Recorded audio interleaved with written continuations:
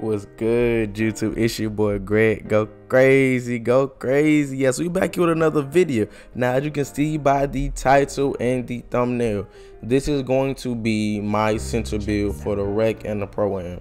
Now, for the rec, I'm going to be using the center build. For the pro am, I might use them, I might not. It depends on what position I play. Because if I do play pro am, I'm going to use my two-way playmaker for the pro am if I do play.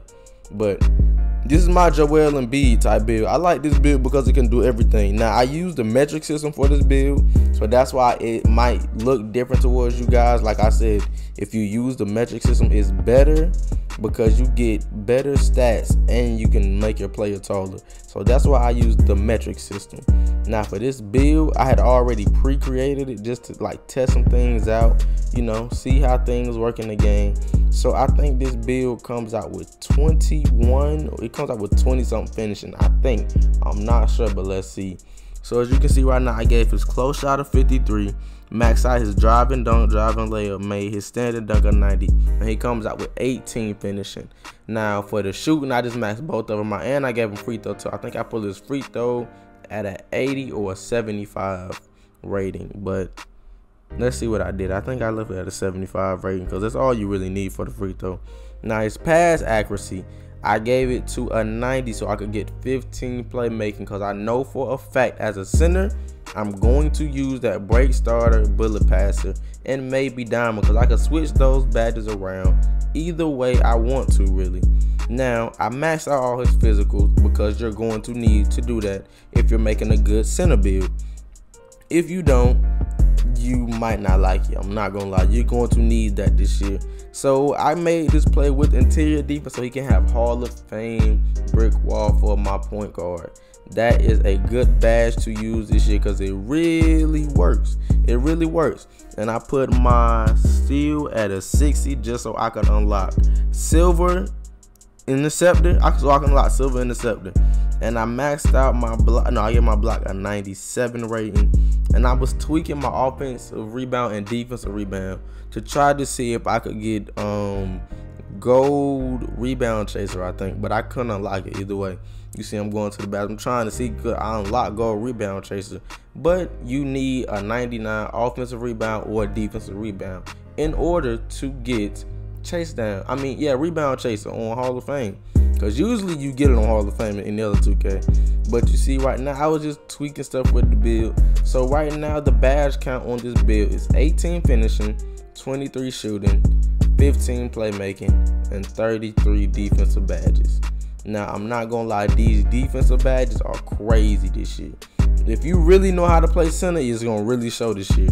Because I done seen people try to think they are center and they really not. And so that was a this build. But as you can see, now for this Joel and Embiid build, I gave this build rim protecting takeover. I gave him paint protection and I gave him limitless range. I gave him limitless range to spot up. It's one of the other. It's one of the sharpshooting takeovers because that's what you're gonna need if you're gonna make this build. If you want to be like a Joel Embiid type build. But as you can see, for the secondary takeover, I gave him spot up precision, and this build came out to as a two-way stretch glass cleaner. Now I don't know why they compared a stretch glass cleaner to Rudy Gobert. I don't know when he started shooting. He can't shoot. Or to Dikembe Mutombo. He can't shoot these. I don't know why they called it. Like, come on now. But hey, man. The, it, the title is what it is, bro. It is what it is. You feel me? Now, for the badges, which I might tweet. These not the official badges. But so far, these are the badges I would give him. I would give him silver, mouse in the house, gold posterizer. And I think I was thinking about this right here. And I think I would give him gold riser for a fact so he could dunk on people.